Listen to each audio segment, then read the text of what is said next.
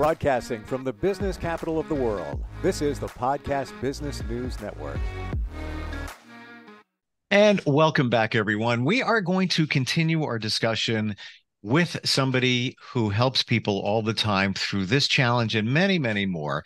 Specifically, I'm talking about BPD, borderline personality disorder. Many times that diagnosis is given, is it founded? What does it mean? We're going to dig into all of that and further go down the road of the criteria that is used to diagnose BPD. We've there's nine. We've nailed six so far, so we have three left. Where our goal is to get to all of them today with her from Trickett Counseling. She is a an amazing uh, provider of psychotherapy and counseling. Marinela Trickett is back with us. Welcome. How are you today?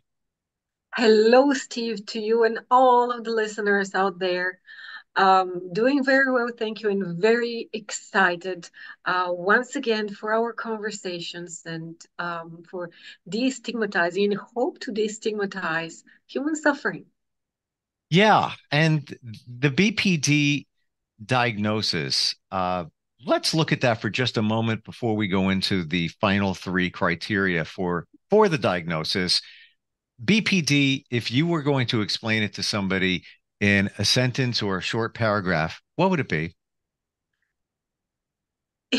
In one sentence, people who receive diagnosis, I would say people who um, were born with big emotions, people who have big emotions in their bodies, and people who really, really didn't have the lack of the draw when um, at time of their upbringing, when they needed someone to help them make sense and organize those big emotions in their bodies. As a result, in, in their experiences, people just kind of, in, in their attempts to soothe, in their attempts to cope, um, they were employing uh, things that were right there uh, whether adaptive or maladaptive, that was again a separate story.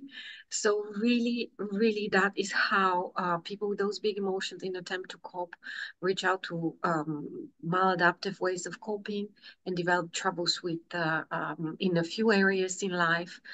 Um, and that is how we end up um, with either diagnosis, but uh, basically the explanation like that, highly stigmatized highly stigmatized mm. um, suffering in, in our field because of the complexity and the vast area of uh, troubles um, we humans can get into and the reason uh, why big reason why in our conversations one of the throughout our conversations one of the things I, I, I wanted to speak about is exactly that. Um, i am kind of i have chosen to go uh, to take the order of the dsm for perhaps familiarity. And also uh, on the other hand um, with that i would like to uh, kind of put out there none of us is a case number and the reason why we are here to talk about human experience. Well the criteria we've we've identified six so far. There's three that remain. Before we get into those three how many do you need to have before was it five to be diagnosed? For diagnosis uh, we need to have five of those um, kind of endorsed positively. We also speak about uh, threshold sub-threshold.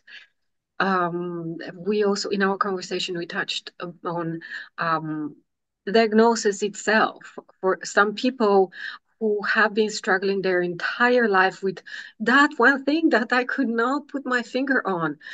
Having the diagnosis and that explanation is really validating. Oh, there is something that puts all of that together.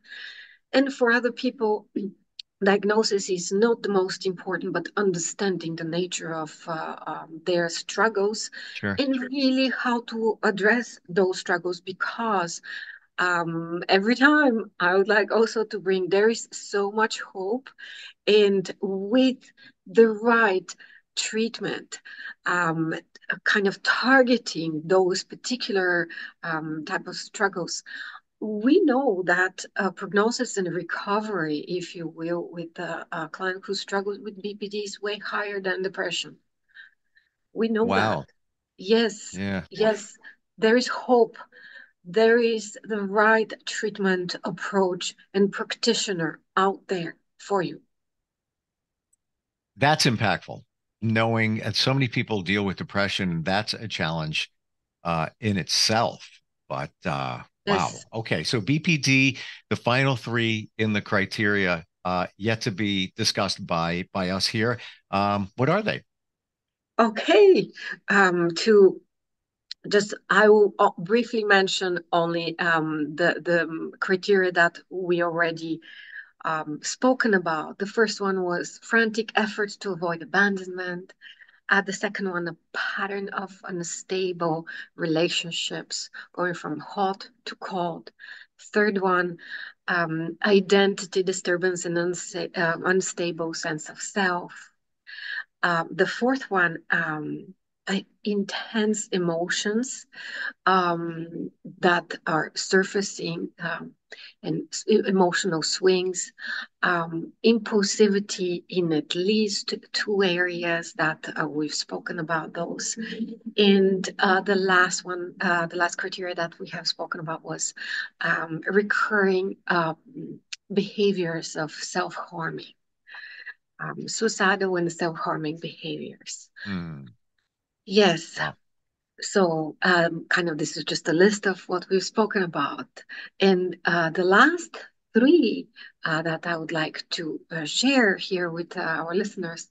First one is a chronic um, sense of emptiness often we'll hear that oh, i feel empty inside. I feel like something is missing.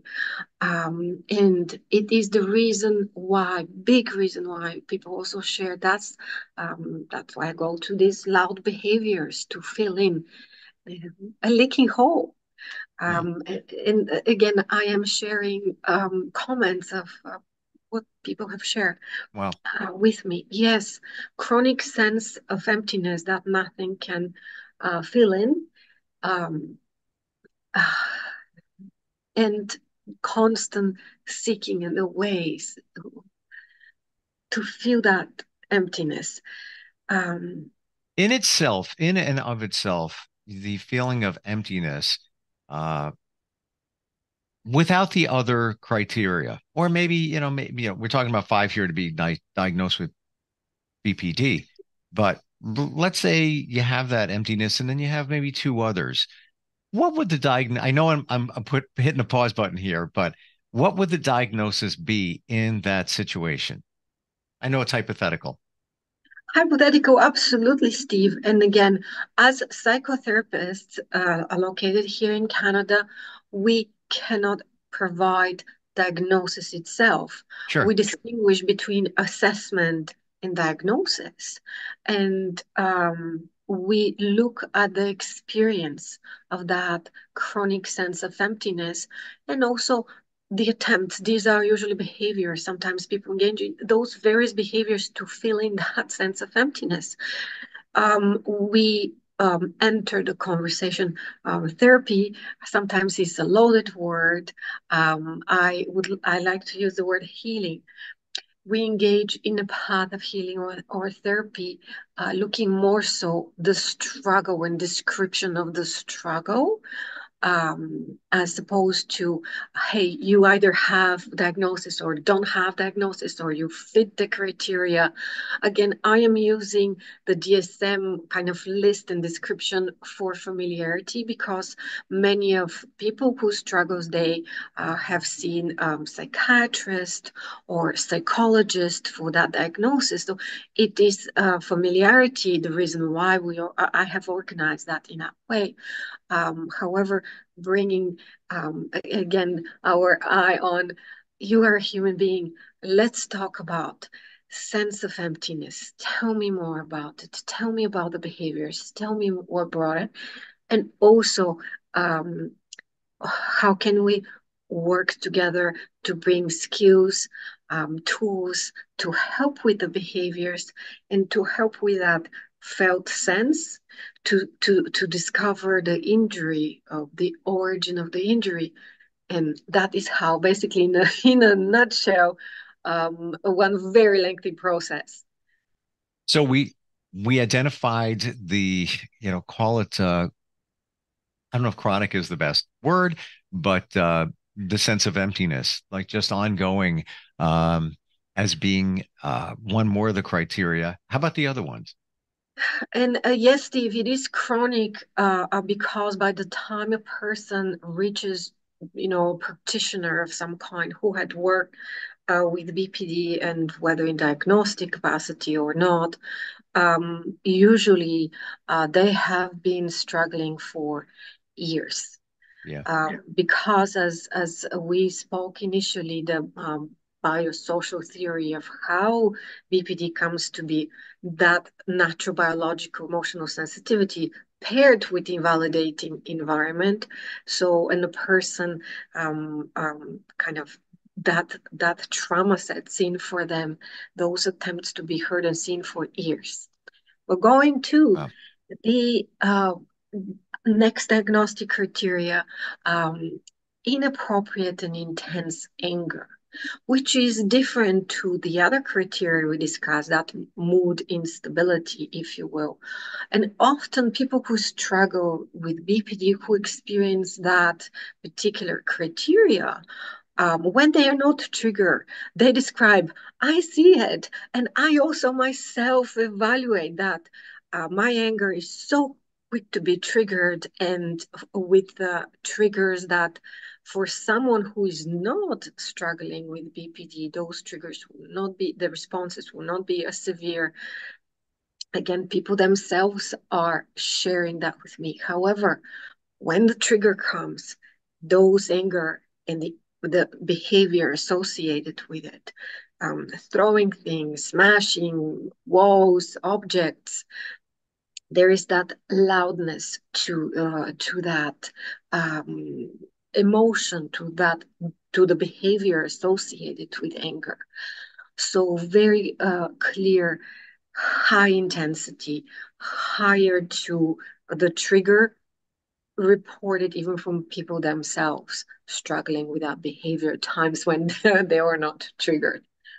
Now we we're talking about anger um isn't anger also a sub emotion of something else going on? You know it's it's it it shows up as anger but it's it could very well be something else like sadness or or something.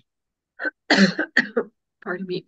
Oh steve what you are describing is primary secondary emotions. In one of our past conversations we mentioned primary and secondary emotions often that type of intense anger um, comes as a secondary emotion, as learned response to emotions you mentioned sadness, fear, shame, guilt, and not only. Anger comes out because that person, for example, um, this this was the environment they were exposed to as children as adults in romantic relationship, in friendship relationship somewhere. And that is what they have learned. Hey, when I have this intensity of emotion, different emotions, I have learned it's not okay to express sadness. It's not okay to express shame. It's not okay to take space. Um, and I have learned that anger comes my way. That is the pattern that I perpetuate. So yes, Steve, absolutely, and you are once again pointing to the complexity uh, of all yeah. of that, and the reason why healing it, it, in one conversation we wouldn't be able to, to sort through all of that. Uh, the reason why healing also takes long time because also also our human nervous system uh, takes time to um, rewire. It takes time to arrive at it's safe it's safe here at this present moment so the the anger is it how do you quantify it um, i know that we have one more to get to don't want to run out of time but how often does it show up that it would count as a criteria, uh, you know, among the nine? Um, um, with again with the intensity, we um, look for um, frequency. We look for intensity. We look for harm of self, harm of other. Um, and it, again, if for example, um, person is struggling with outbursts of uh, throwing things, breaking things, um, loud vocalizing. Um, I um, that I imagine that would be concerning for um, most people who are observing that, who are recipient of that. Um, and again, we also look for other criteria whether uh, they're present or not in regards to BPD diagnosis or whether anger is a um, behavior, emotion trigger that that person is uh, struggling with in the absence of the other criteria. When we look at, huh, kind of, is this part of BPD pattern? Is this part of anger? And sometimes we probably have heard also anger management programs attending to the specific behavior. So we I don't want to run out of time, so let's let's move from anger to the last out of the nine criteria. What would that be? The, the last one of the nine criteria, you actually uh, mentioned that uh, in our past conversations, those unusual um, experiences and behaviors. Um, people reported, oh, I feel like I'm in a dream. I feel like mm. I'm distant. I feel like uh, people are out there to get me. Um, I feel like everyone right. is conspiring against me. I feel like part of the body is not mine. Um, that criteria is also related to um, stressful events, traumas that happen in our body and respond uh, not only in our body, in our life, in our experiences. Um, and that is trauma response to that. Uh, often with uh, trauma, um, we see that distance, that dissociation. So these are um, episodes, they're very transient episodes of that. Um, and they resolved within 24 hours or so. They're not long lasting periods. So that is how we um, differentiate from um, other types of um, kind of struggles that when we see that distance, that dissociation. Um, also, again, the importance of triggers, the importance of this is respond in response to something. Um, is is that okay? So that I was going to ask you about that. The the feeling of being in a dream or disconnected or just seems like a fantasy is that that person's body or mind just kind of hazing over so they don't have to deal so much with a, a trauma like a, a, defense mechanism absolutely um, again somewhere in the line of their life in the past, they were exposed to either the same situation or the interpretation of, of, of that. Hey, this is dangerous situation for me.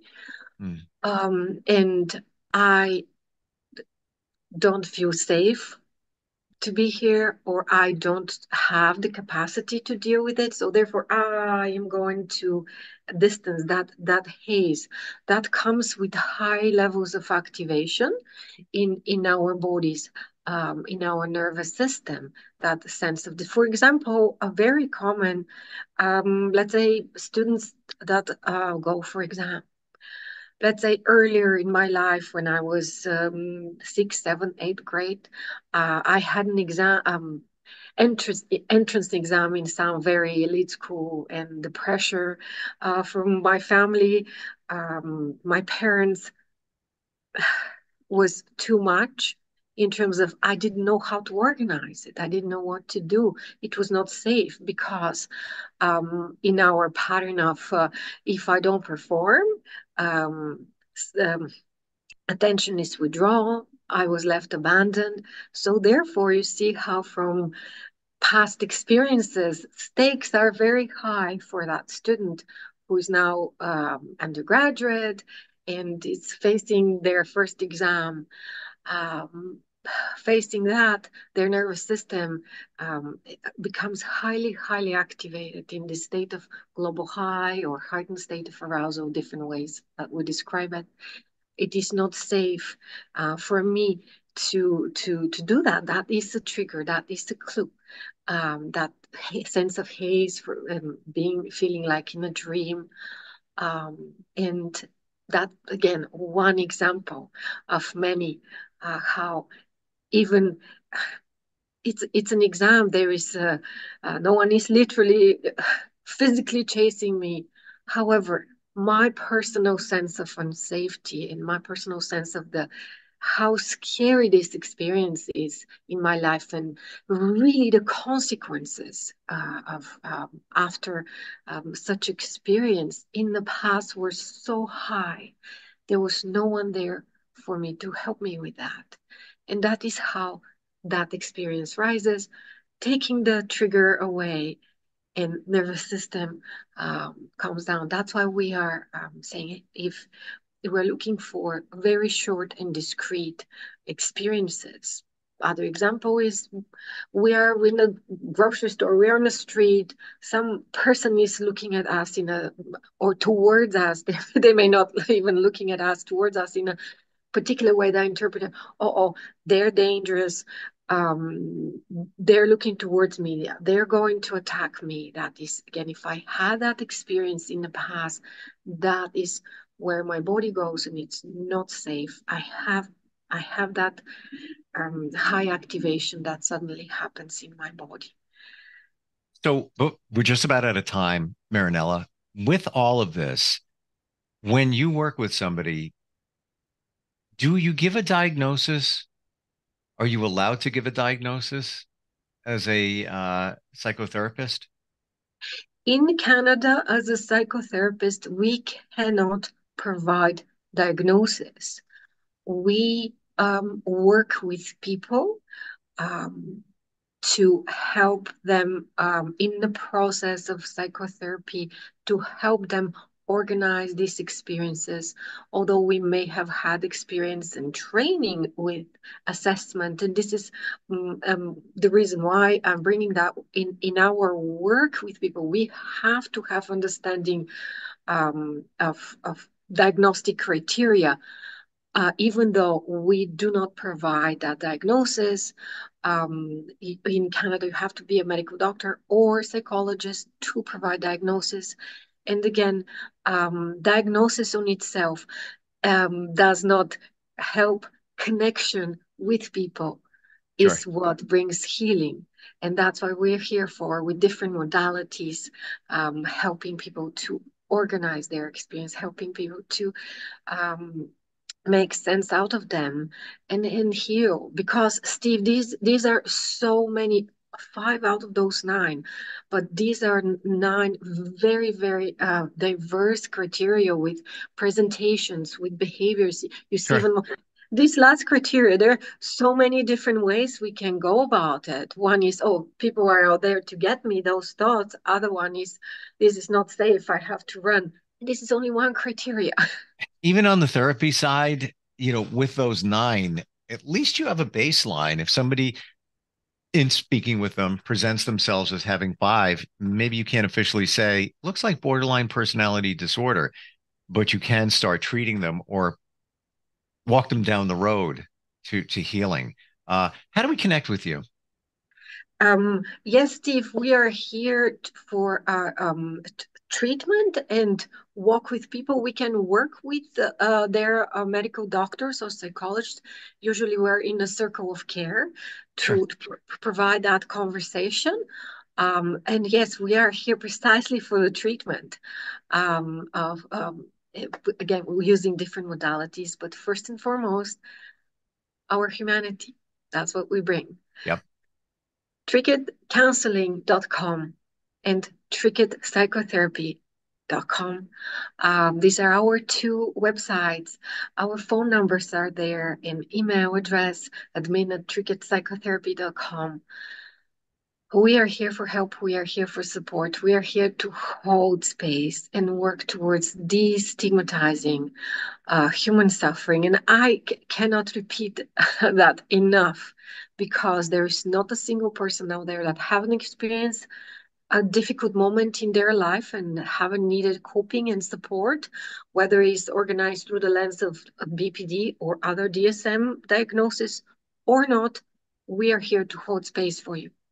And I have to believe, even out of that list of nine, many of us have, there's at least one or two that we're dealing with, probably maybe three. It, you know, not diagnosis BPD, but we're dealing with things that that we need help getting through and that journey. Uh, I just want everybody to know, Trickett Counseling, Trickett is spelled T R I C K E T T counseling.com. Marinela, thank you so much for being here today. Truly appreciate it. Uh, and Steve, I appreciate the opportunity to talk about um, human suffering, to talk about human resilience and healing as well. Very much appreciated. And we'll talk next time, okay? We'll talk next time. I hope you and all the listeners out there uh, have a happy Easter for those of you who celebrate. Um, and um, have a wonderful weekend for those of you who don't. Same. And all the best to your family. And uh, we'll be right back. Are you looking for even more of the podcasts and hosts that you love? The Podcast Business News Network is proud to announce that you now have even more ways to listen live. Check out the MyTuner Radio, online radio box, and Simple Radio apps on iOS and Android, or find us online. Search for Business News Network on mytuner-radio.com or search Podcast Business News Network on streema.com and onlineradiobox.com slash US. Take your podcast on the go and don't miss a minute of the action.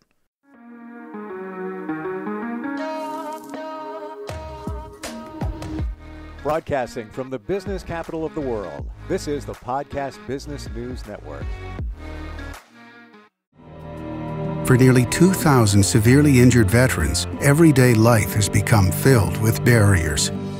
Day to day simple tasks can become pretty daunting. I have to carry my chair up two flights of steps or have somebody do it for me. What scares me the most is just the falling. When I'm struggling with my house, I think, you know, to have that one great barrier just knocked down, I mean, it's it's crucial.